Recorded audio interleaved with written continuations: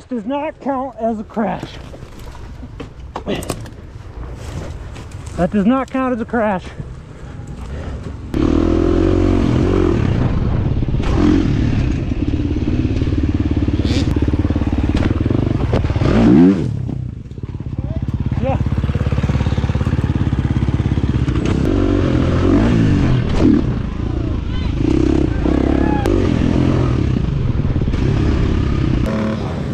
Thanks for tuning in. This is Thomper B. Thompin, and here we are at round 13 at a race called Rattlesnake in rural Retreat, Virginia, held at a raceway called Wythe Raceway.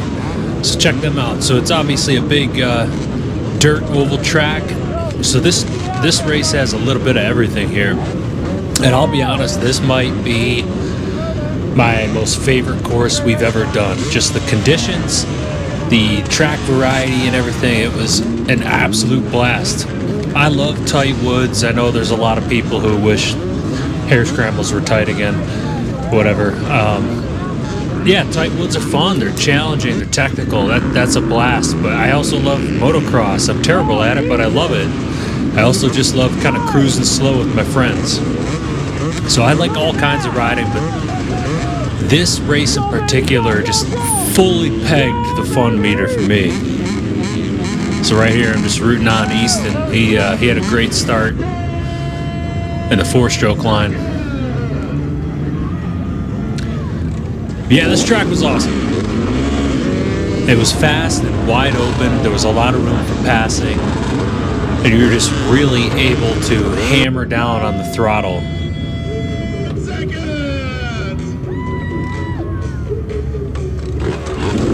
but it also had a few tight sections in there too, so it was a good mix overall. So the start of the race here, we're on the infield of this racetrack,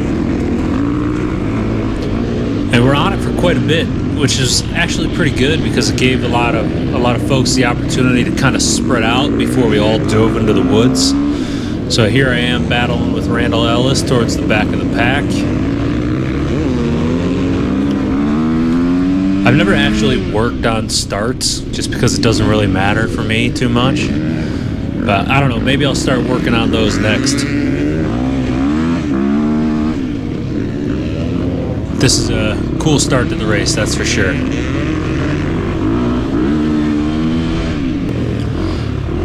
So this video is a little bit longer than most, uh, just because I had, or I finally got all four laps in for this race.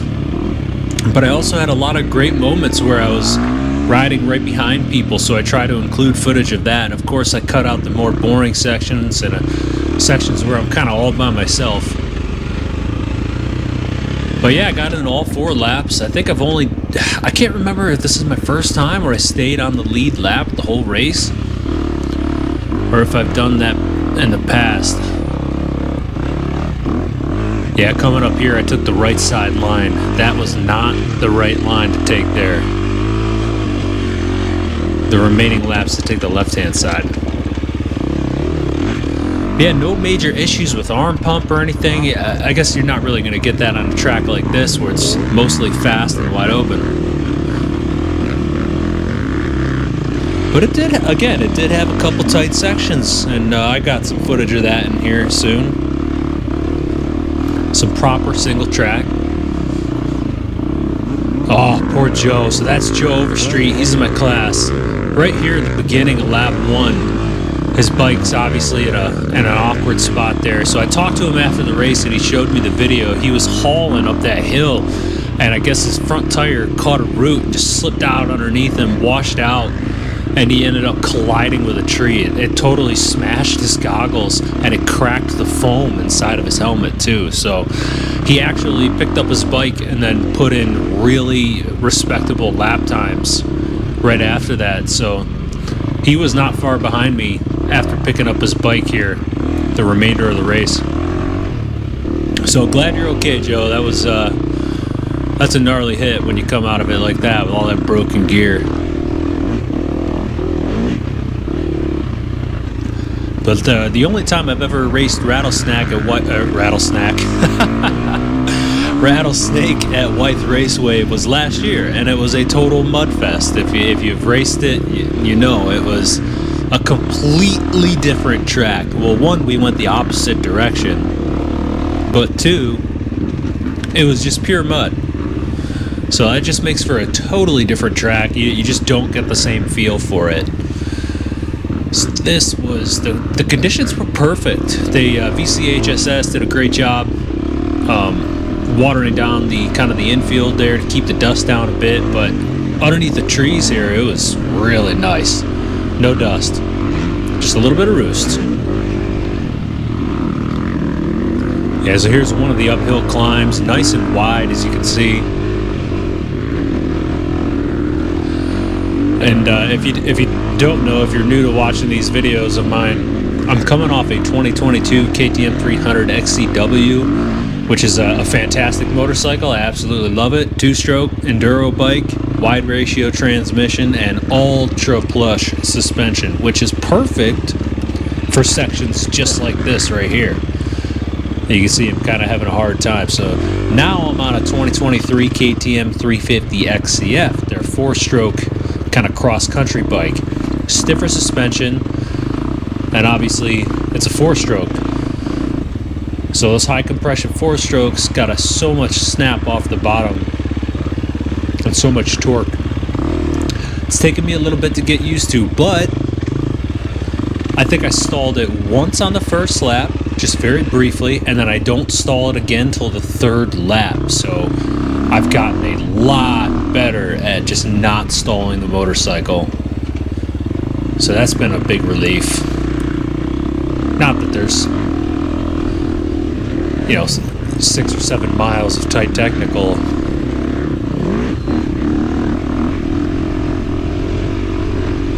Yeah, this track is much more conducive to this bike. I was able to push it way harder. I had a lot more confidence jumping, and in fact, as you saw in my intro, it's it might be hard to tell, but I definitely overshot a couple of jumps and undershot too. I uh, like I cased the double, which I was able to ride out of, but it just gives me a lot more confidence jumping because I know that that landing's going to be a little bit more stable.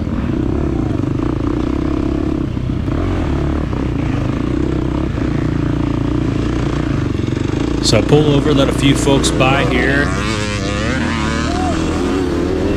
That was Josh. Zach Swanson, he's in my class.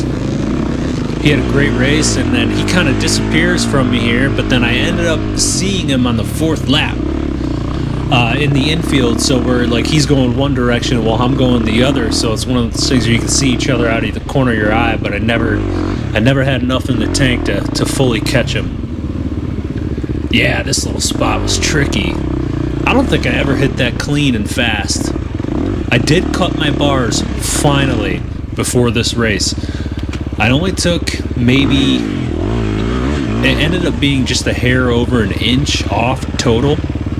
So I might take off a tiny bit more. But yeah, I finally cut my bars. So I heard someone coming up, and that was Wesley. He's in my class. More on him in a bit. But right here, you can't see him, but Randall, um, we were neck and neck there at the beginning of the race. Randall came up and we were trading paint a little bit right there. So I think he got caught up, tripped up right there. But yeah, so Wesley just passed me. He's in my class as well, 27J. Uh, and we have, he and I have a great back and forth here on this like first and second lap. I got a lot of that footage, and then we see each other again on the fourth lap, which is pretty awesome. So yeah, this turn was sick coming in there, just like put a little bit of the rear brake on, slide it around as you're coming down the hill. That, that felt so cool. But it's sections like this where that XCW super plush suspension was just no bueno. Because you're bottoming out on these just little washouts. Or little whoop sections. Those weren't even really whoops, but yeah, I can just push this a lot harder some of these nice uphill climbs. This was a really good one. So lap one feeling really good, no arm pump. I could feel it coming on just a little bit, but nothing like the other, the previous you know, couple races. I could have ridden all day. Flattened out for a section, goes right back into some more uphill. We got really lucky with the weather. The track conditions were perfect, the weather was perfect.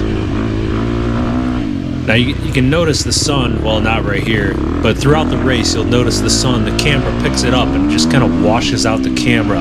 That's how it looked, uh, you know, just riding. I had clear lens goggles on, but the visor only did so much because the sun's just so low in the sky. Yeah, flat landed that one pretty nicely.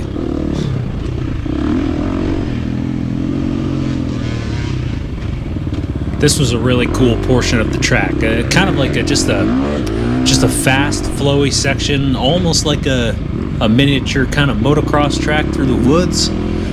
Plenty of space to pass, lots of fun jumps and turns, and some of the jump faces were a little bit steep. So I come up short on that one. Then the next lap, I, I hit it perfect on the down on the landing, and then the next two laps, I way overshoot it, even though I knew it was coming. Yeah, normally I'm uh, I'm short on jumps because I kind of chicken out. Not I'm never usually flying over the landing like that. But yeah, I'll talk about those as they come up. But yeah, this was probably my my favorite part of the track. I just I just love this flying through the woods, riding hard, some small jumps. You can wheelie them, you can jump them, whatever you want to do. This is a nice pass on the outside. Nice pass.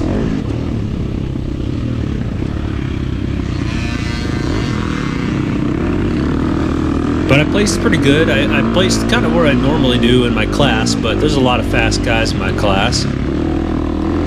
But overall, I think I did, uh, I had a slight improvement. So I think that's Wesley up ahead of the dude in the orange helmet there. So I've been able to keep him close. And he and I just have a great battle coming up here.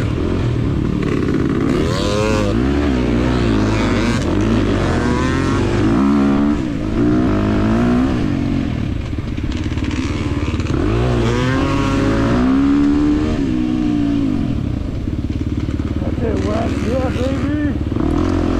I was just saying, that's it, Wes. Yeah, baby. Because watching him like slide into the woods like that, that's it's good. He's fast. Letting another one by.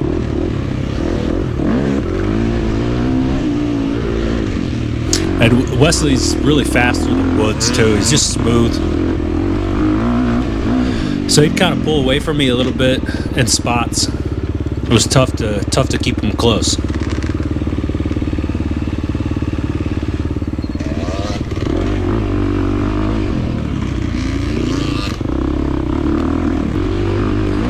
And that Yamaha he's on is no slouch. That thing's it's got some power and it puts it down really good too.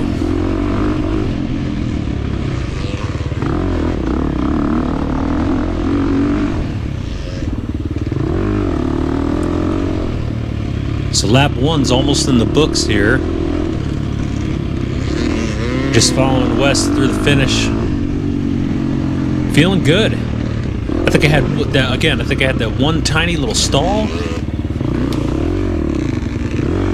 No crashes or anything.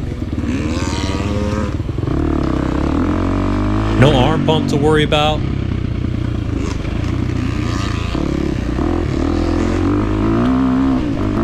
And now I got a now I got a really good feel for the course too, so I know where the sketchy spots are. I know where some of the bad lines are, some of the good lines.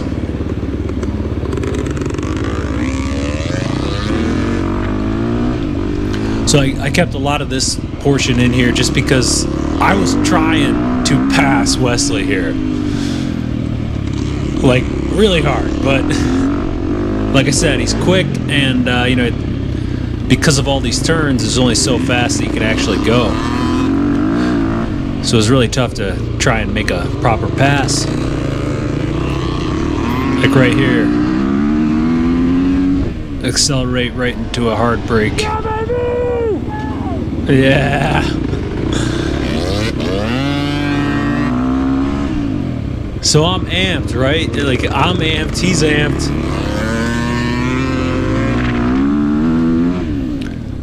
I'm trying to make a pass. He's trying to keep me from passing, I'm sure. Sending the roost my way. So I couldn't I could not make a pass on that whole infield section as we're finishing up here, but I'm right on his tail. But then there's this one person ahead of us, and he Wesley goes up high on the track, so I'm like, okay, I'll stay down low. And it ended up working out for me. Because right here I can just throttle down.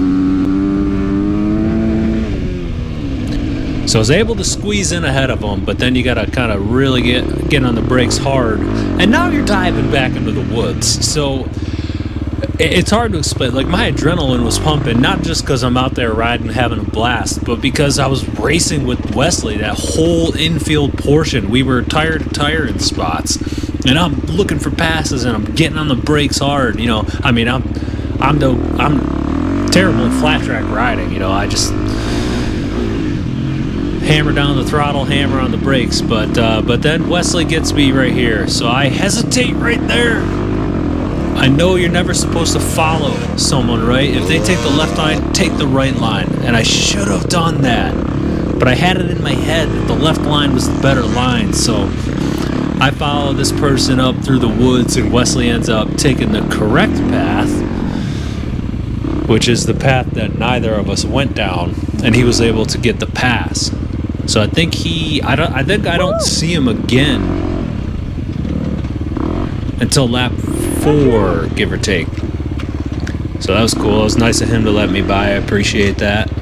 I, I rarely ever call out to pass like with an engine rev or a woo woo or anything. I just try and pass people. Especially on a course like this, there's tons of room. I'm also not competing, you know, for like top three in my class or anything. So, you know, I'm just out there mostly having fun, bringing up the rear. but I get tucked in behind this person and ride behind them for quite a while.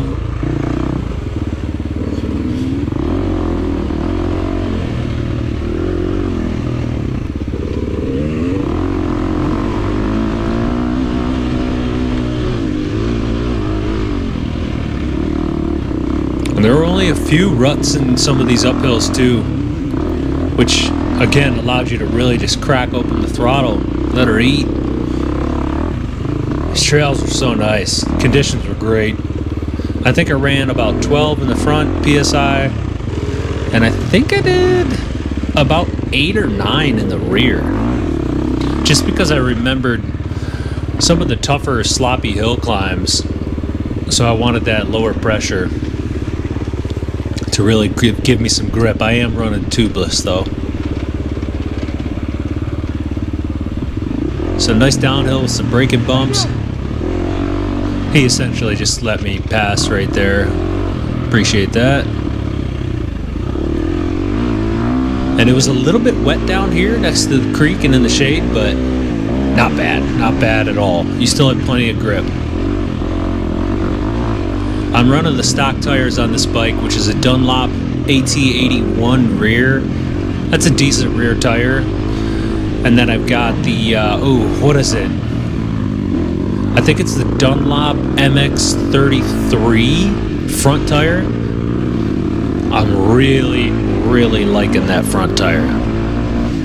It's good in ruts, it's good in the open grass track. I've had it in some slop and it's been pretty good there too just all around a great tire. Also, I don't really know what I'm talking about, but I've only run three tires so far. The AT81 front, which was okay, but it had a tendency to climb out of ruts, which even I could notice that at my beginner experience level. And then I switched to the Bridgestone M59, which helped with that a lot. So I would totally use the M59 again, but I'm a big fan of this 33 so far, so I think I'll just stick with those. Nice little off camber through the shade here, and there's that sun you see peeking through the trees. It definitely made visibility tough in certain directions. Like there's a couple hill climbs that are into the sun.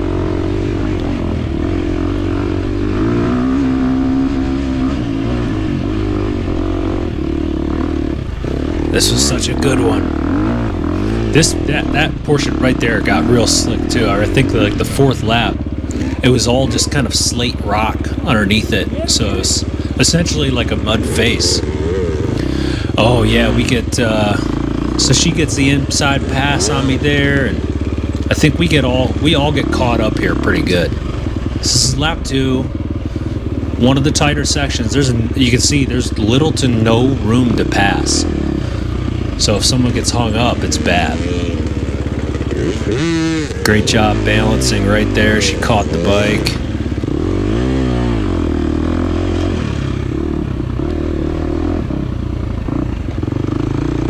I think it's up here in a bit. So she's following right behind him, but I think he spills right there. So she has to drop down into this soft outer edge of the trail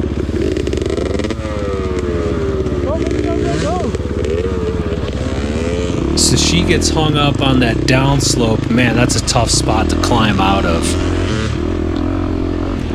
I had no choice really but to wait because there was a good chance I would have done the same thing. Just getting myself in trouble right there. And that then that zaps your energy. It takes forever to get out of those things sometimes. But back to the fast flowing motocross portions here. Uh, maybe not quite yet. We're getting there though.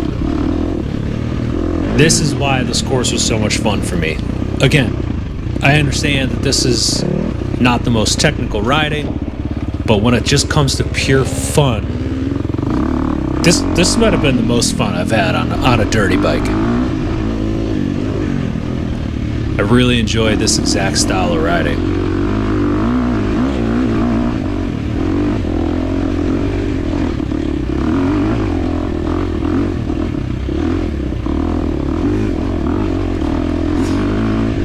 Keep this in here. These long climbs are just so much fun. Levels out to another another uphill.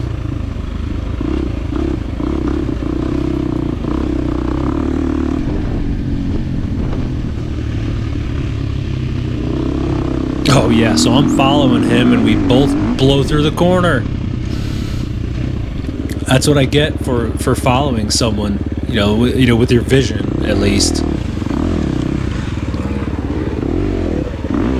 Even if you're hauling behind somebody, you gotta pay attention to those signs.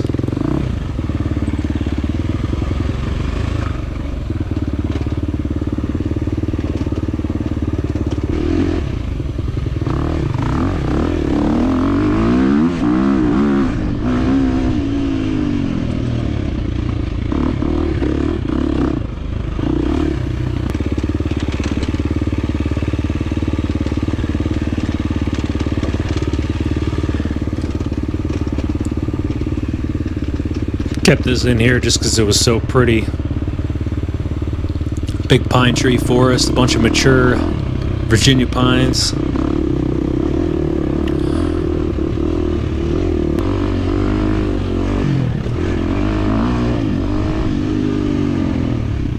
Back to that kind of mini motocross track in the woods.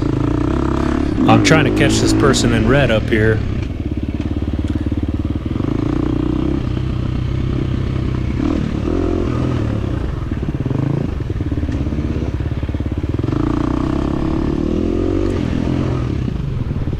That's the one and only time I landed on the landing of that jump.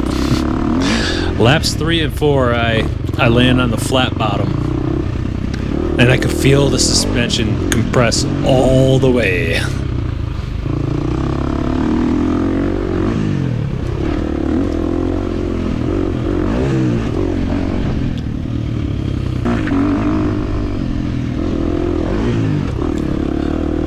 So you can tell I'm having a hard time reeling them in here.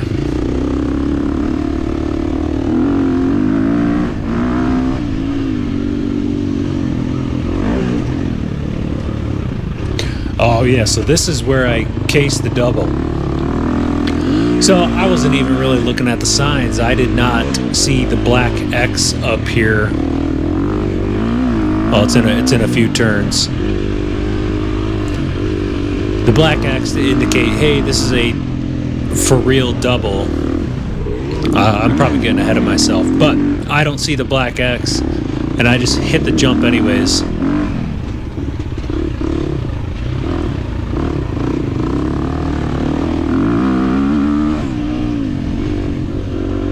Right here.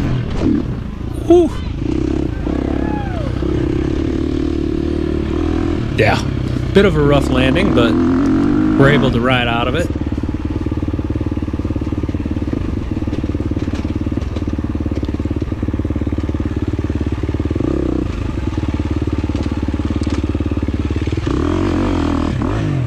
And I'm still riding in the white map for these 350s, the 2023 at least. The green map is definitely um, got way more snap to it, especially lower to mid RPM, which is great in certain conditions, but I don't know. I just need to go riding hard one day on the green map to see if I like it a little bit better. So the beginning of lap three, that was the second time I've stalled the bike, and still no crashes. One of these races, I'm gonna ride hard and not have any crashes. We'll see.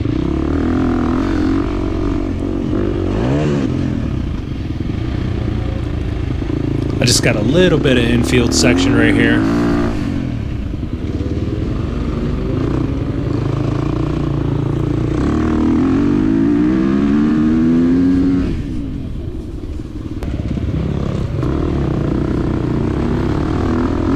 Get at least one pass.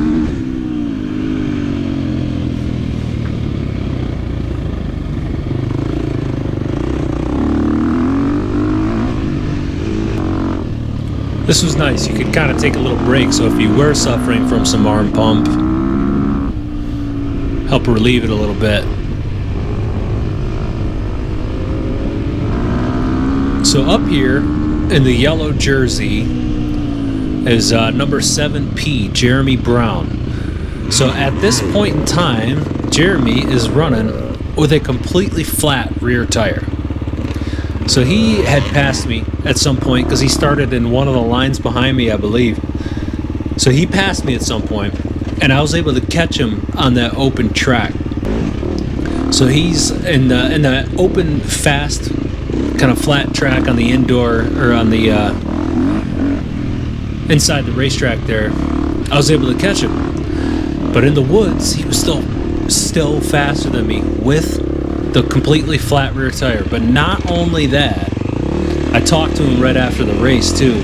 He had I don't know where when in his race this happened, but he had a completely blown out rear shock. So he was still plenty faster than me through the woods with a flat tire and a totally blown out rear shock. He showed me too. The thing was bouncing all over the place. So kudos, Jeremy. That's uh, really impressive. You were able to ride that hard with all that going on. And it happened early for him, too. I know he rode with a flat tire for at least two full laps. But yeah, he and I kind of catch up and trade places a few more times. I think he does end up finishing ahead of me, though. This was my second favorite part of the track. Long uphill, these little jumps built in.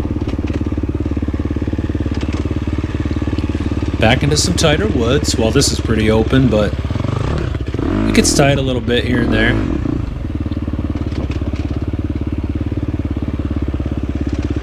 Ooh, bad line.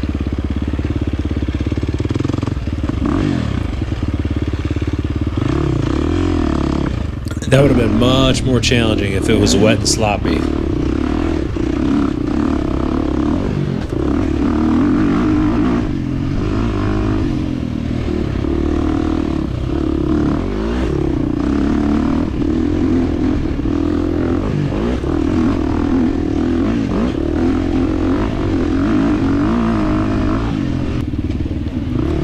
Catching up to somebody here.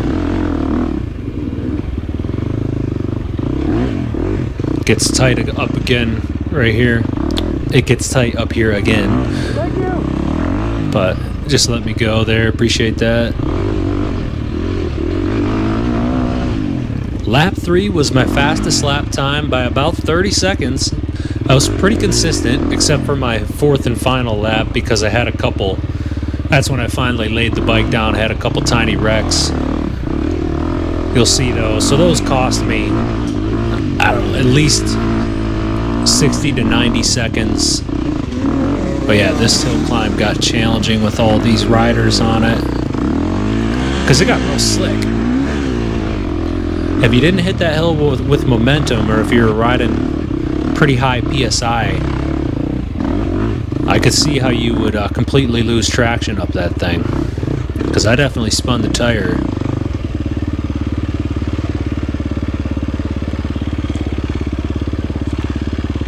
This tighter section. Yeah, I still might shave off just a hair more. I never thought about the bars while I was out there. Like, uh, I didn't really notice it. Um, I suppose looking back, I could notice like a the ever so slightest amount of reduced leverage in places, but it wasn't enough for me to really think about it while I was riding. So, mostly unnoticeable. Again, I only took off about an inch now from. Uh, from bar end to bar end, including the hand guards that stick out a little farther, I'm about 32 inches. So I know a lot of people run much shorter than that.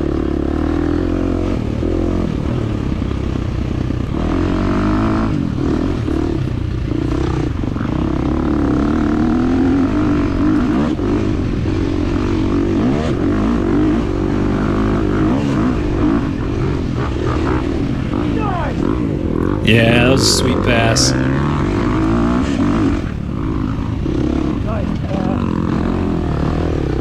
There's some uh, really fast guys who like to ride the trail rider class. So they'll usually catch up and pass me eventually. And that's where I overshoot it. that wasn't that wasn't too bad, but I still landed on the flat bottom, probably a little bit hard to tell.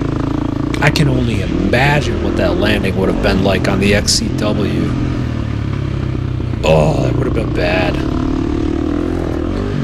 Same for when I cased that little double. I think the stiff suspension allowed me to to ride that out a little bit. But then the fourth lap, I I overshoot that jump even farther. Terrible. And that's remembering that I had to slow down a little bit. I was just too amped. So I think that's Jeremy Brown again. Here I am kind of catching him on the faster stuff again because he has far less stability at speed. And that when it's flat like that, it's kind of bouncing up and down in the stroke too. Very unbalanced.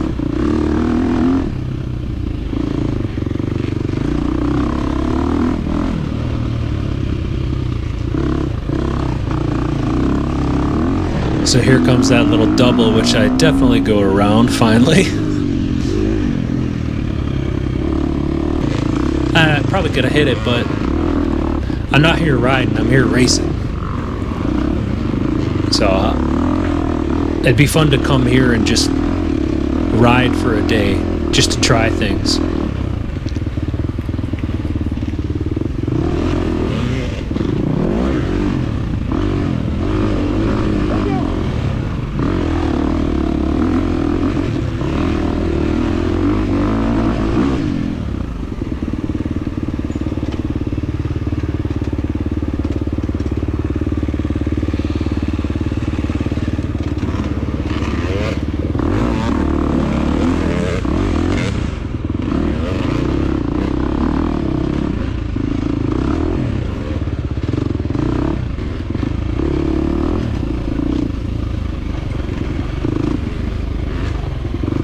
Look at him wrangling that thing. Oh man.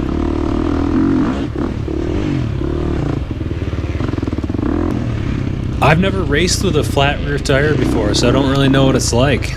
I imagine it's like racing in really sloppy mud or something, but just your rear. So lap four, here we go. Just saw the white flag.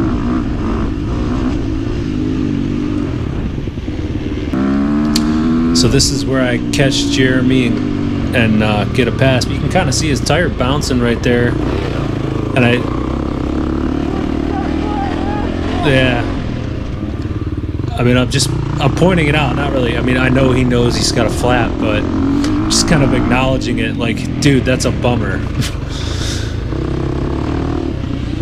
He's like, yeah, I know, I know. Just keep powering through. Uh, but my buddy, my, my buddy, my buddy Nate, I talked to him after. He said he's he's had a couple races, and Randall. Um, they've had a couple races where they've had flats, and I think Nate said the uh, having a flat front is way worse, which kind of makes sense. I mean, makes it must make corners next to next to impossible to carry any kind of speed through them. Nice. Yeah, nice bass right there. Right there, I should have wheelied over that ledge because it's kind of a drop off into the water. I don't know why I didn't. I ended up getting water in my boots. But there he goes. So I pass him on the track, and he passes me back right there. He was still so fast through the woods. It was. It started to get like funny. I'd pass him in the fast spots, and then I knew he'd come up and creep right by me in the woods again.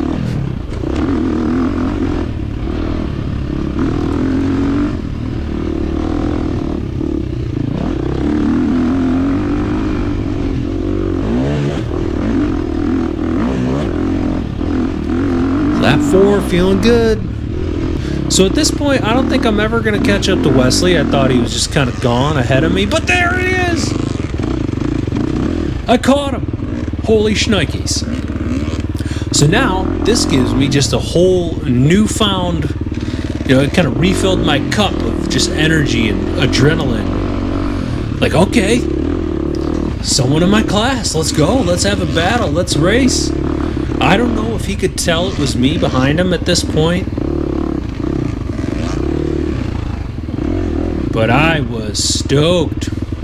I love the uh, the late battles late in the race against people in your class. Good times. But I'll ruin it for you. I never get around them because lap four is where I start having my silly little wrecks.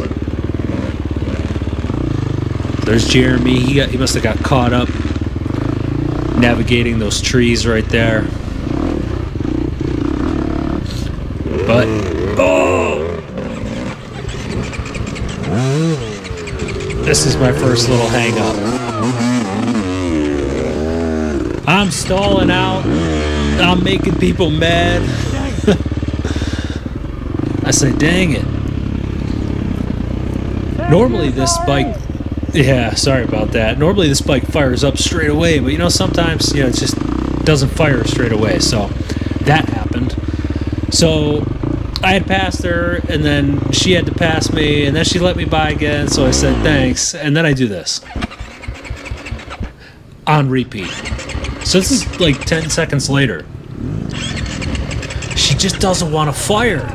So I'm like, okay, I gotta let these people by. I'll lean up against this tree. Go, go, go. Yeah, and she was saying sorry to me. No, no, no, no, no. I'm the one who stalls out in the middle of the trail and is holding people up. Does not count as a crash. Yeah, so I had to get off the bike because the tree I decided to lean up count as a against is dead. And watch this. I'm going to pick up my bike and he just runs over my front tire. What the heck? It looked like there was plenty of room, but I could be wrong. Maybe he had no choice but to hit it. But yeah, I'm not counting that one as, as like I'm thinking in my head. At this point, I'm not counting that as a crash. I'm not counting that as a crash. I purposefully leaned over to let people by. and the tree was dead, so it just fell over. And then dude runs over my tire, just pulls the bike out of my hands. Oh, it was just more funny than anything. There was no damage done. Plus, it's racing. Don't crash if you don't want to get run over. No, I'm just kidding. So I'm just trying to keep it together, you know? Like, okay, that's a bummer. All those things happened. Like, the only chance I've got of catching Wesley now is, I don't know, if he ch- stopped to, like, check some trap lines or something. There's no way. And I start stalling a little bit more. I still think I only stalled maybe six or seven times total, but most of those came on the fourth lap.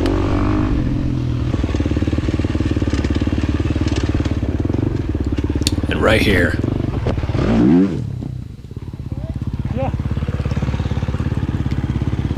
I'd hit that section perfectly before.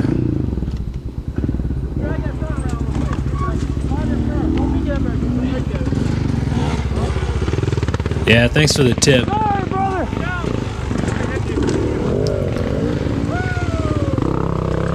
Guy just said to drag the front down, which like, yeah, it's I was kind of putting that together in my head as he was saying it too. Like, yeah, that's gonna be way easier. Way overshoot that. but yeah, that little slip up I had back there, I was just I, I could feel the people behind me, so I was pushing it a little bit harder than I should have. I'd hit that section clean and fast for me a few times already, but for whatever reason, I just slipped up. Oh yeah, another observation I had was um, I didn't have arm pump, but by the fourth lap, I was starting to get fatigued. I actually had some just, I guess like my hands were fatiguing a little bit. They weren't sore or numb, nothing like that. It wasn't like a vibration thing. Just from pulling the levers all day, constantly riding them.